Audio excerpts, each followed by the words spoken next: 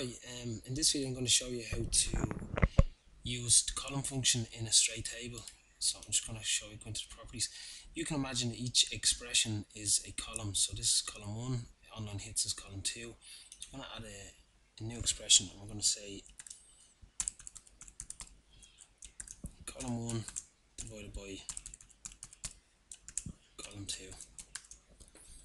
So open your uh, bracket, column 1 divided by column 2 and then close your starting bracket.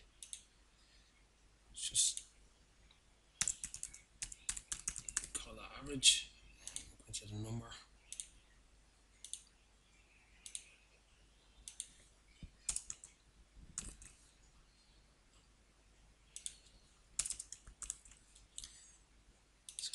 So now you can see we have the average amount of money we're making from each online hit based on the profit.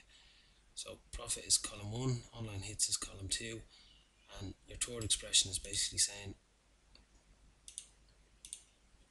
column 1 divided by column 2 to give you your average.